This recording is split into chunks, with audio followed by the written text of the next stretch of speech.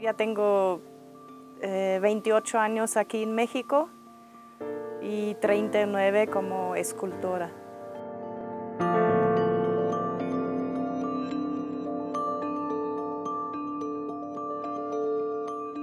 Desde los tres años mi papá tenía un amigo escultor y cuando ellos se encontraron y tomaban la copa, eh, pues ahí jugaba con barro. Fui un poco rebelde debido a una familia muy autoritaria. Eh, no permitieron nada muy tradicional.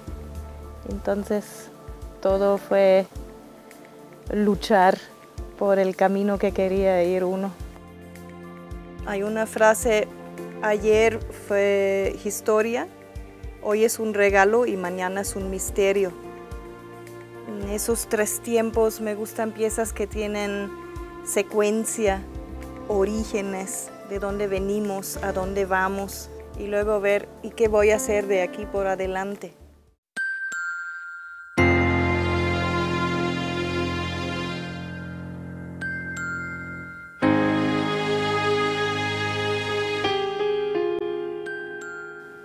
Me gusta el origen erótico. Yo creo que la sexualidad, afortunadamente a la sexualidad, la especie humana sobrevive y yo creo que no hay nada restringido. De ahí todos, de, la sexualidad y de este origen, todos nacimos, todos venimos a este mundo.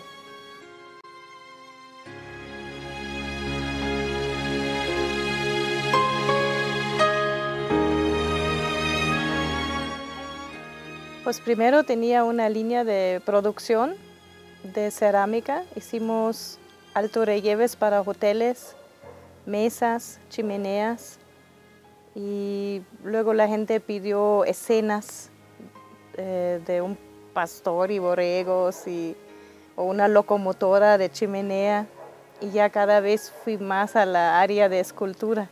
Los primeros materiales fueron cerámica, luego trabajé con armazones, plastilina, bronce, poliéster, resinas.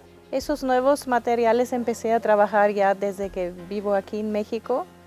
Se me hizo interesante combinar diferentes texturas, diferentes sabores y colores, ¿no?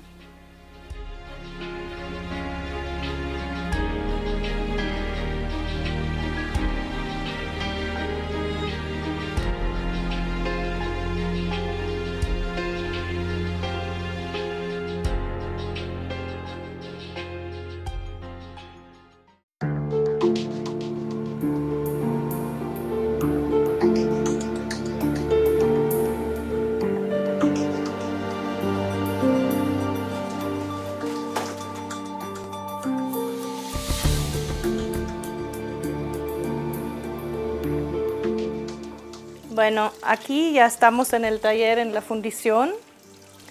Eh, se ve la tina de cera.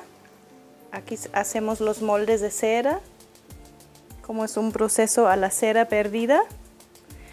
Luego aquí hay la tina de agua, donde se conservan las piezas.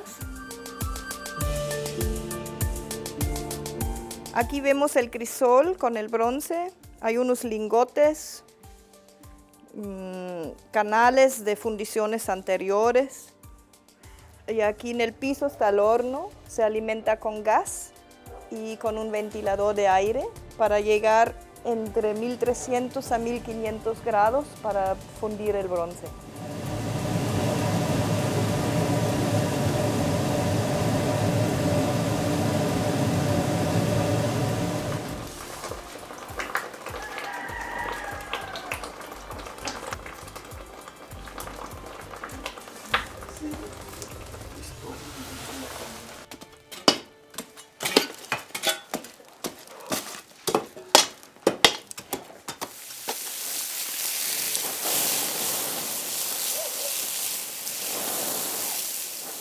Como salen las piezas con coladas y hoyos de la fundición, pues aquí los estamos soldando y luego hay que pulir todo eso con un esmeril y también en ese caso se sueldan aquí las cabezas a los plátanos, los toros para que sean machos valientes.